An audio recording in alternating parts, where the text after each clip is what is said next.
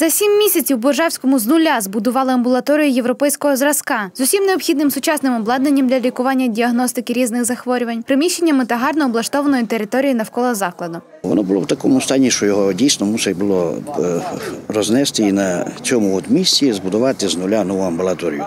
Ну і буквально за 5-6 місяців ми маємо результат. Нагадаємо, кошти на будівництво проекту були виділені з державного та районного бюджетів. І вже у 2018 році ми з державного бюджету отримали 4,5 мільйони гривень на початок будівництва е, амбулаторії тут у Боржавському. Е, Це також е, ці кошти передбачали і співфінансування з районного бюджету. Вже на одній з чергових сесій Виноградівською районною радою було забезпечено співфінансування. Десь близько 500 тисяч гривень було надано на співфінансування будівництва е, амбулаторії тут у Боржавському. Е, Було виготовлено проєктно-кошторисна документація, пройдено державну експертизу е, проєкту. І вже у 2020 році ми розпочали тут будівництво. На офіційне відкриття закладу завітали представники влади. Захід урочисто розпочали гімном.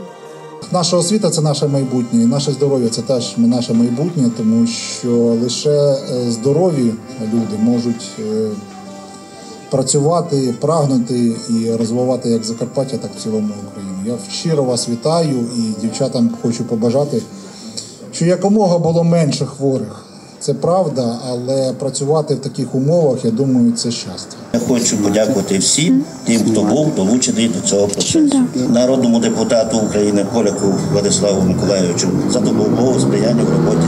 Основна мета будівництва даного закладу є те, що покращити медичні послуги, покращити роботу самого медичного персоналу і загалом покращити стан у населеному пункті. Традиційне відкриття відбулось перерізання стрічки.